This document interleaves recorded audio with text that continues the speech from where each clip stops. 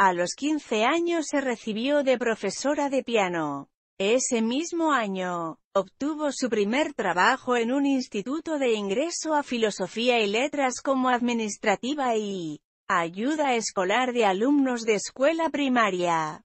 Terminó sus estudios secundarios en el Liceo Nacional de Señoritas NRO.